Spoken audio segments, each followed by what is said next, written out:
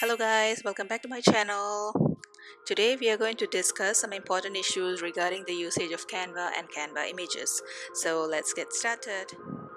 When you go to canva.com, you can actually sign up as a free member or as a Canva Pro member. When you sign up as a free uh, Canva member, you will still be able to sign up for a trial Canva Pro account for 30 days or so. And uh, if you want to do that, I have a link in the description box below. When you get uh, the Canva, uh, Canva Pro account, you are actually able to use all the Canva Pro elements in your design and uh, all the uh, you will be able to use them freely for the trial period. And uh, if you already have a canva pro account and you have been consistently using canva for all your design endeavors and so on there are certain things that you should be able should, that you should be aware of so that you don't get into any legal complications uh, further down the road. Especially if you're using uh, your canva uh, designs for commercial purposes like print on demand okay so let's get started. What are the things that you should be aware of?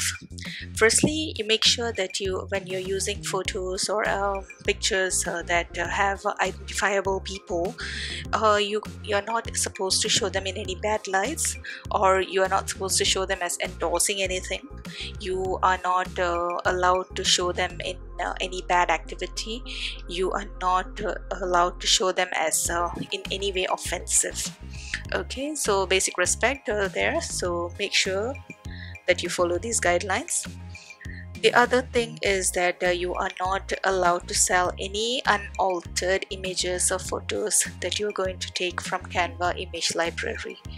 The thing is um, it's very basic and it's a common sense uh, thing that uh, you cannot take something uh, image from canva and upload it in in any other stock websites and sell it as your own.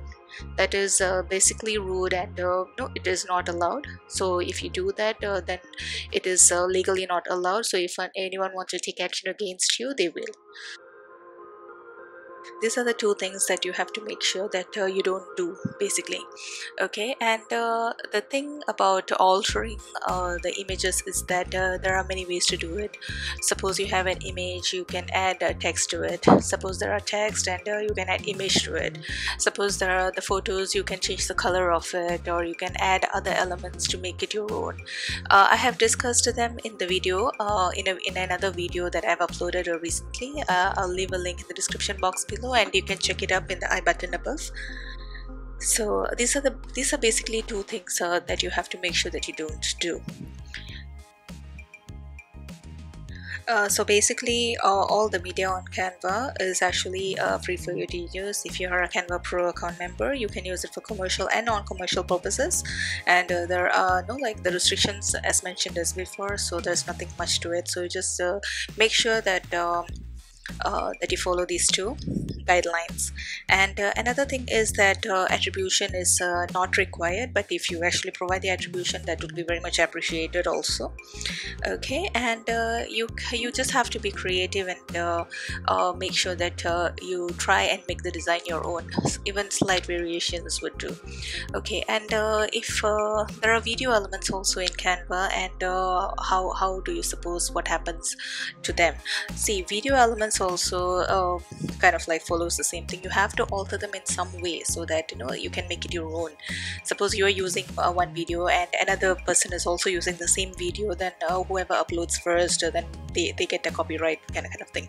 So the thing is you have to make sure that you make it your own. You have to alter it either it's the music or uh, the positioning or um, uh, what, what whatever changes you can make it uh, so that uh, you can make that content your own. Do that how about the fonts in canva? Can we use that for commercial purposes? Basically yes. You can use uh, all the fonts that are available in canva for commercial use. You can use them in your social ads. You can use them in your marketing. You can use in your pod you can do all of those.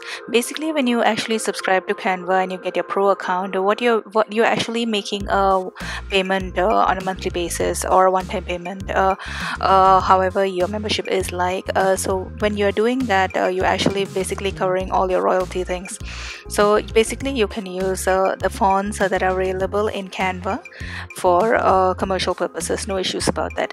However if you're uploading fonts to Canva you have to make sure that you have the license and you have the permission to use that uh, font for commercial purposes. You can upload any fonts into Canva if you have the file but uh, if you don't have the license to commercially use it then uh, you won't be able to uh, use it for your marketing or social media or whatever that you want to use it for.